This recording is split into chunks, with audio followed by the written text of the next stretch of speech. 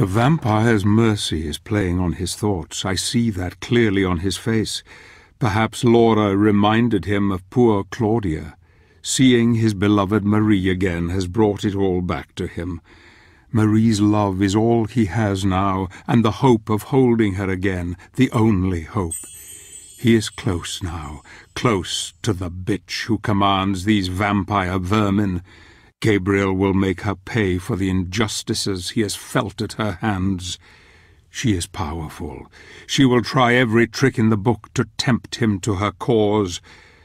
There is just the small matter of the clockwork tower to overcome first. Another mad invention of Frankenstein that I hope will only delay his sweet revenge.